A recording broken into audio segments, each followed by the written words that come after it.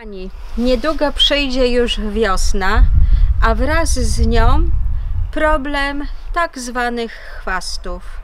Wielu ogrodników bardzo nie lubi, gdy ich grządki porastają chwasty.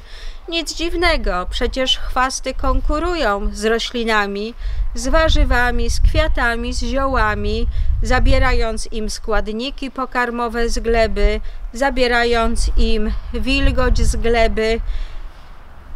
No, tłumią, mogą stłumić te rośliny pożądane lub też utrudnić ich rozwój. Dlatego też możemy podjąć pewne działania, albo nawet nie podejmować pewnych działań, by ograniczyć ilość chwastów, a z czasem je wyeliminować. Wiecie o tym, że przekopywanie, że grabienie gleby powoduje większą ilość chwastów? Dlaczego tak się dzieje? O tym właśnie będzie mowa w tym nagraniu.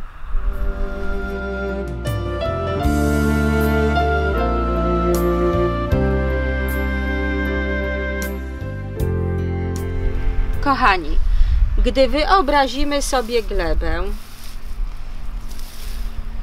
to na tę glebę padają różnego rodzaju nasiona. Bardzo często są to nasiona chwastów, które albo rosną gdzieś w pobliżu, yy, po prostu wysypują na glebę swoje nasiona, albo są przynoszone przez wiatr czy przez ptaki. Niektórzy ogrodnicy tak bardzo nie lubią wyrywać malutkich chwastów, bo jest to na przykład uciążliwe, tylko wolą poczekać, aż te chwasty urosną większe i wtedy łatwiej się je wyrywa. Ale trzeba pamiętać o tym, że one mogą mieć nasiona i wtedy czekając zbyt długo, po prostu jest to tak, jakbyśmy wysiewali na grządkę nasiona chwastów, ale przecież też ich chwasty rozmnażają się chociażby przez kłącza, czyli pod ziemią trwa również taka praca nad tym, żeby te chwasty były w dużej ilości i silne. Chwasty, czy w ogóle może glebie, jest to obojętne, czym ona będzie okryta. Ona po prostu musi być okryta i jeżeli nie ma odpowiedniej okrywy, to chwasty właśnie pełnią taką funkcję i o tym już wiele razy mówiliśmy na naszym kanale, zwłaszcza poruszając temat tak zwanej sukcesji, czyli piętrowości roślin w procesie ochrony gleby. Ale wracamy teraz do gleby, na którą późnym latem, jesienią, zimą, wiosną trafiają nasiona chwastów. Wiecie przecież, że jeżeli na przykład chcemy posadzić warzywa, na przykład chcemy wysiać marchewkę albo pietruszkę, albo na przykład fasolę, to nie kładziemy tych ziaren na glebie, tylko wkładamy je do gleby, dlatego że ciepło gleby, jej odpowiednia wilgotność jest sygnałem dla nasiona, że musi wykiełkować. Tak samo działają nasiona chwastów. Więc jeżeli są one zgromadzone na powierzchni gleby i teraz tę glebę przekopiemy, to w zasadzie stwarzamy odpowiednie warunki do tego, by nasiona chwastów wykiełkowały i by one rosły w glebie. Jeżeli pozostawimy je na glebie, to większość z nich po prostu nie wykiełkuje, tak jakby to się stało z nasionami pożądanych przez nas roślin. Więc przekopywanie gleby to jest tak de facto y, stwarzanie odpowiednich warunków, żeby z tego stanu uśpienia wy, wybić nasiona chwastów i żeby stworzyć im dobre warunki do wzrostu ściółka. Jeżeli teraz sobie wyobrazimy, aha, i podobnie działa też grabienie, bo kiedy grabimy, kiedy motyczymy, czyli na przykład motyczką chcielibyśmy tutaj y, w jakikolwiek sposób wzruszyć tę ziemię, to dokładnie to samo robimy z tymi nasionami chwastów. Ściółka.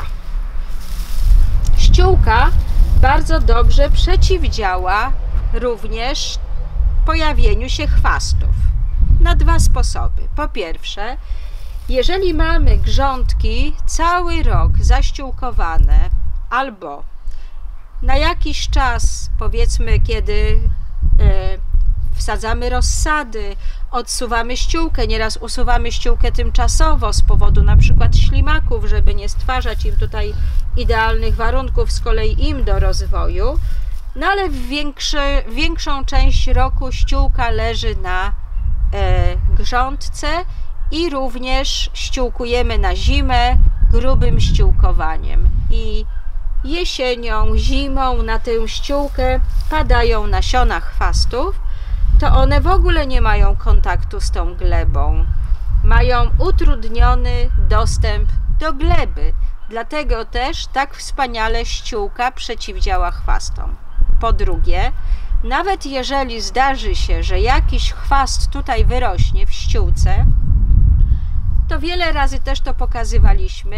Taki chwast jest rośliną wątłą i bardzo łatwo można go wyrwać, bo ma cienką łodyżkę, jest słabo ukorzeniony w glebie i bardzo łatwo z takiej gleby zaściółkowanej wychodzi. No i jest jeszcze trzeci powód, dla którego ściółka bardzo dobrze przeciwdziała chwastom, no to po prostu ona okrywa glebę. A gleba musi być okryta, żeby nie była wywiewana przez wiatr, żeby nie były te składniki odżywcze wymywane przez deszcz, żeby nie podlegała gleba procesowi niszczenia. Czyli ściółka powoduje, że tych chwastów jest o wiele, wiele mniej, mało, a z czasem tych chwastów nie ma. Powinny być również wyściółkowane przejścia między grządkami, ale ta ściółka na przejściach między grządkami, żeby spełniła swoją funkcję, musi być ściółką grubą albo ściółką zwartą.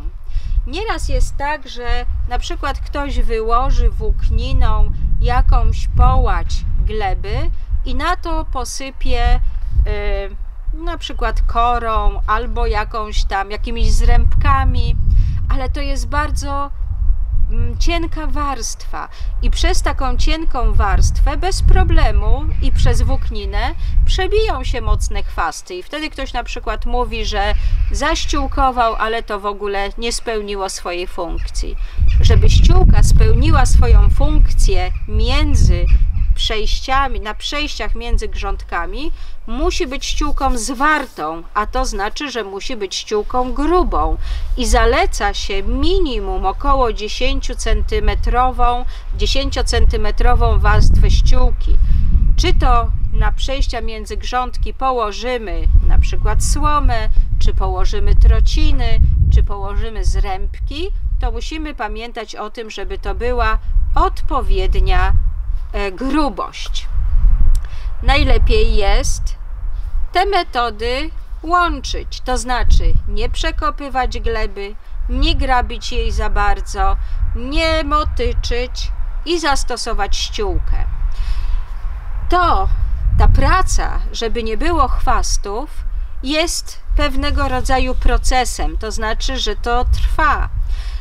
Chwasty jako rośliny pionierskie są roślinami bardzo silnymi. Ich głównym zadaniem jest właśnie to okrywanie gleby, więc nie możemy liczyć na to, że wyeliminujemy chwasty z działki czy z grządek w ciągu jednego sezonu.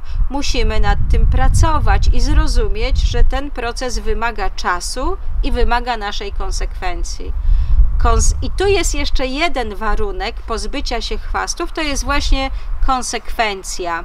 To znaczy, że konsekwentnie, czy może nawet bardziej systematycznie doglądamy grządek i przejść między grządkami. Jeżeli widzimy, że wyrósł jakiś pojedynczy chwast, czyli roślina pionierska, natychmiast ją usuńmy. Albo na przykład możemy raz w tygodniu poświęcić kilka minut na to, żeby zlustrować grządki tak na przykład właśnie zaściółkowane i gdy widzimy, że gdzieś tam przebija się jakaś roślina pionierska, czyli chwast, to po prostu to usuwamy. Robimy to zawsze systematycznie. Jeżeli, kochani, wdrożycie te wszystkie zalecenia, to z pewnością pozbędziecie się niechcianych roślin pionierskich, czyli chwastów, tak jak nam się to udało zrobić na poprzedniej działce, gdzie w zasadzie tych chwastów z czasem już prawie w ogóle nie było, nawet na przejściach między grządkami.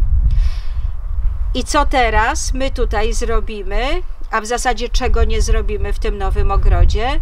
Nie przekopiemy właśnie tej gleby. Za chwilę pójdziemy tam przygotowywać podłoże pod grządki, ale nie będziemy przekopywać tego, co tam jest. Tak jak nie przekopaliśmy tutaj tego kawałka trawnika, na którym założyliśmy grządkę. Nie przekopaliśmy, wypełniliśmy grządkę i ją zaściółkowaliśmy. Mamy doświadczenia z tamtych, z tamtego ogrodu. Nie chcemy roślin pionierskich, czyli chwastów na grządkach. Bardziej nam się podoba zaściółkowanie.